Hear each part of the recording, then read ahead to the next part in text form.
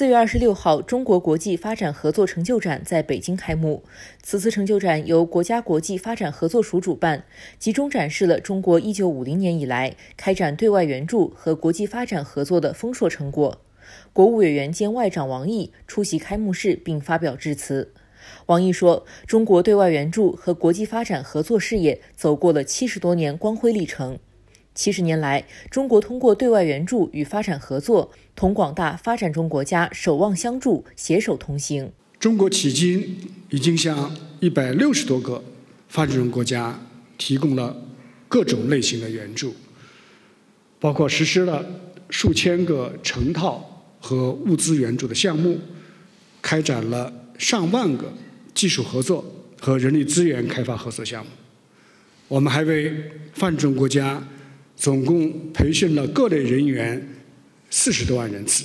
王毅表示，三年前，中国政府宣布组建国家国际发展合作署，为促进对外发展合作提质升级提供了重要机制保障。中国设立南南合作援助基金，成立南南合作与发展学院，致力于帮助发展中国家加快增强自主发展能力。面对新冠肺炎疫情，中国开展了全球紧急人道主义援助行动。面对新冠肺炎疫情。我们开展了新中国历史上规模最大的全球紧急人道主义援助行动，向一百六十多个国家和国际组织提供了紧急抗疫物资援助。现在，我们又克服自身需求大幅提升的困难，正在向八十多个国家和四个国际组织提供急需的疫苗。王毅强调，中国的对外援助与发展合作始终坚守着自己的理念和原则。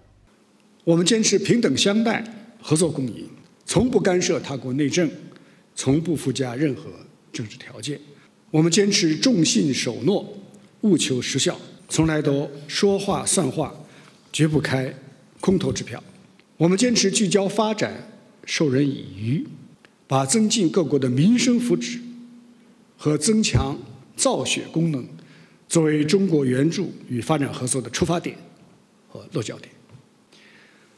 我们坚持开放包容、交流互鉴，在受援国提出、受援国同意、受援国主导的原则基础上，不断加强同发达国家以及国际组织的交流，积极探讨开展。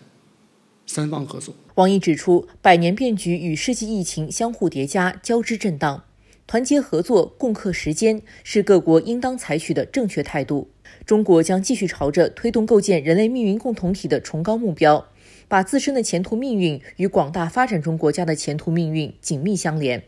通过不断深化国际发展合作，促进世界的共同发展繁荣。开幕式上，驻华外交团团长、柬埔寨驻华大使西索达和联合国驻华协调员常启德分别致辞，高度评价中国对外援助和国际发展合作成就，祝贺中国国家国际发展合作署成立三周年，表示各国和各国际组织愿同中方继续加强国际发展合作，共同落实二零三零年可持续发展目标。王毅同出席开幕式的各国驻华使节、各国际组织驻华代表共同参观了成就展。